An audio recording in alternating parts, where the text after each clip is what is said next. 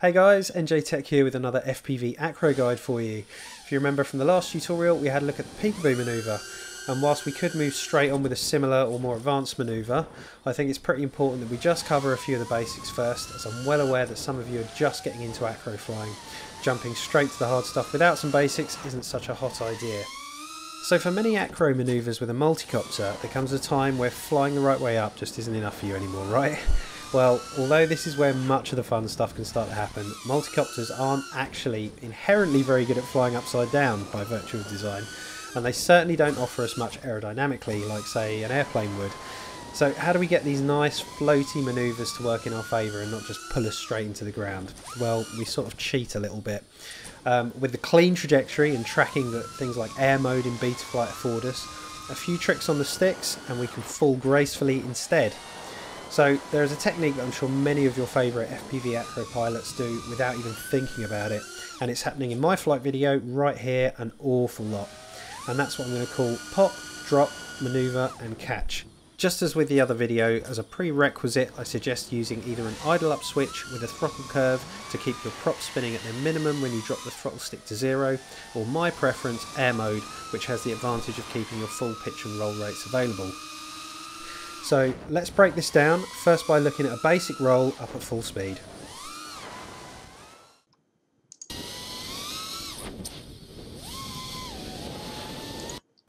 Okay, so let's slow that down and just have a look at what's going on.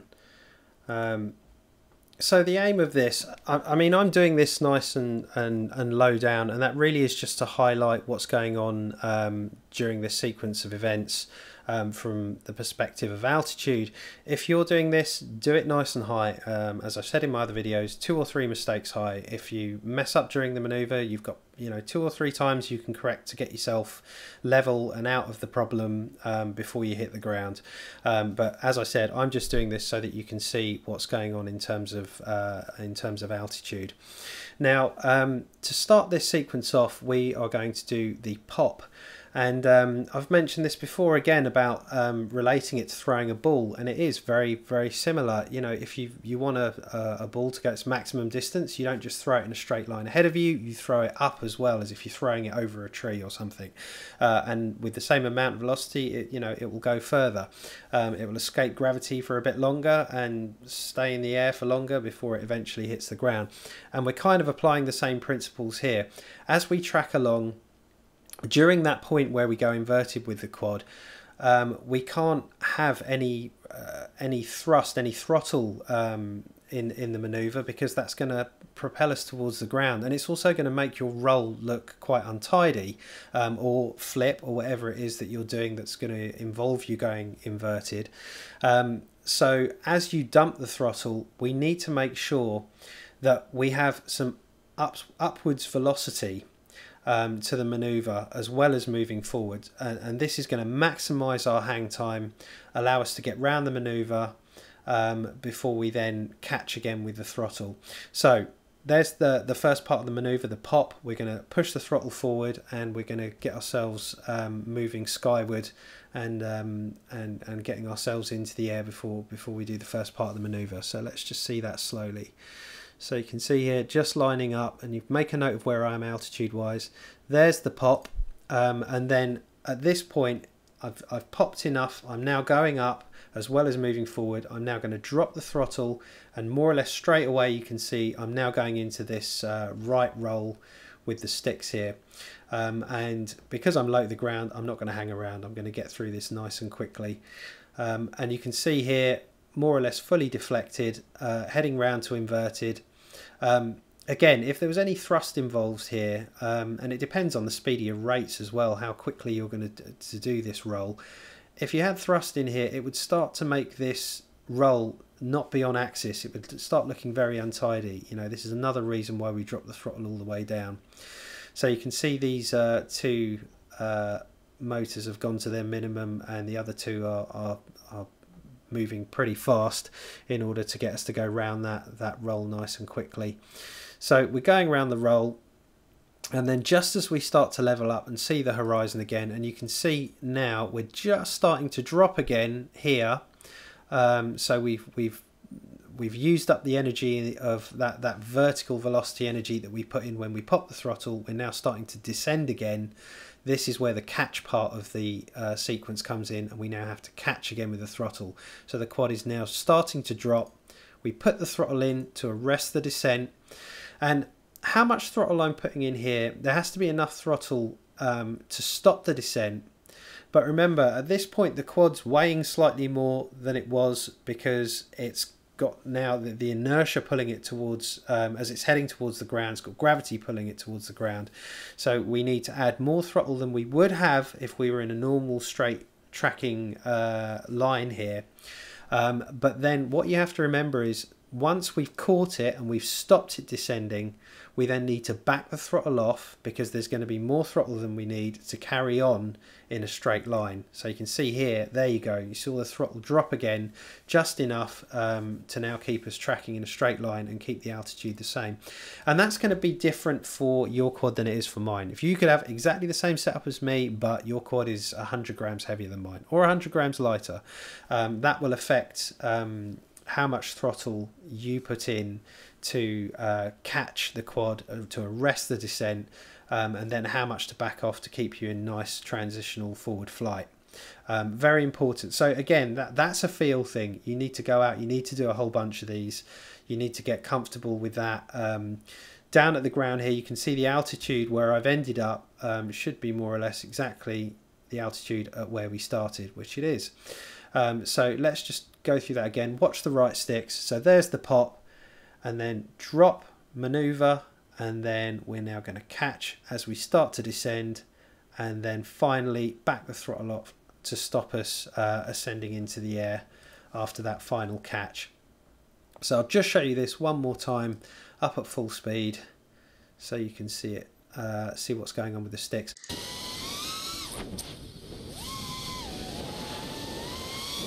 Okay, so let's have a look at another example here. So this is a slower, uh, slower roll here, and I'm popping a lot harder. So we're looking to clear these trees here. Um, we're going to do the same thing. We're just going to do a basic roll. Um, let's just have a quick look at this up at full speed first.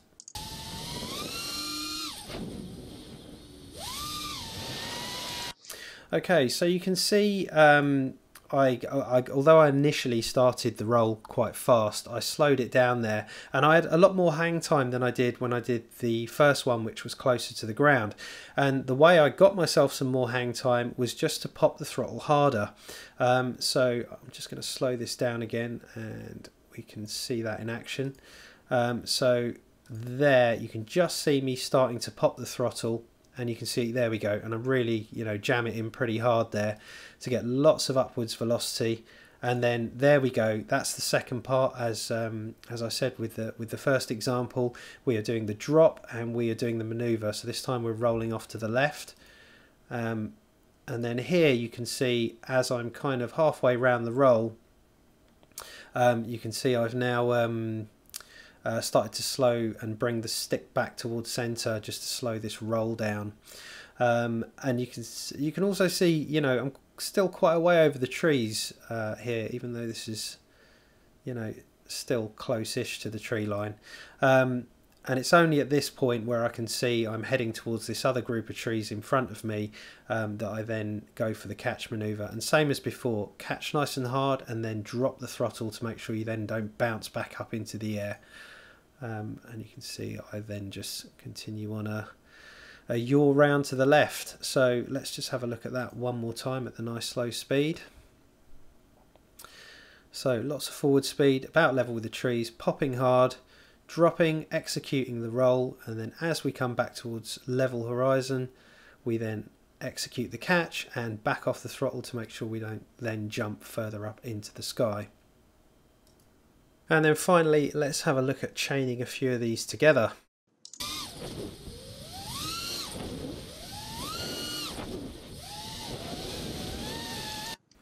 So the difference here, um, I think, compared to what was going on with the others, is I broke the rule um, about what I was saying on the last part with the catch. So um, if I slow this down here, you'll see, because I wanted to go from one in succession straight on to another, um, roll, you'll see there's the pop, there's the drop and the maneuver. And then for the catch, what I'm actually doing is catching very aggressively, um, basically to go straight onto another pop um, so that I can then do another maneuver and then the same here. I'll instead of uh, as well as doing the catch, I'm again popping really hard um, to try and maintain the same altitude so that I can then do a third one. And that allowed me to stay at more or less the same altitude for all three. So let's just have a look at that slow again. So we've got the pop, drop and maneuver, straight back into popping hard again, drop, there's the maneuver, and then again as we come level popping hard again straight onto another one and then finally catching backing off the throttle and turning round for another go um, and again I'll just give you that all together at full speed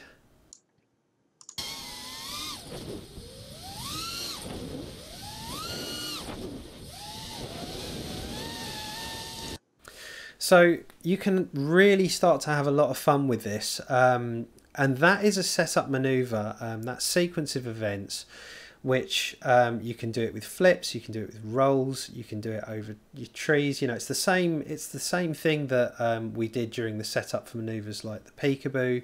Um, you know, this the, again, as I've said before, the sky is the limit. Quite literally, um, this this is the way you set up for a lot of inverted maneuvers. Um, even if you just want to pop up into the sky, half flip into inverted, hang there for a while, and then you know roll or flip out of it and, and just catch the quad.